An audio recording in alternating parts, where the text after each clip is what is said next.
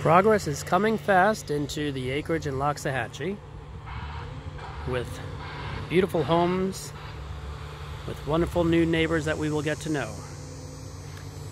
In less than seven days, we were under contract, and in less than 30 days, the clearing is taking place.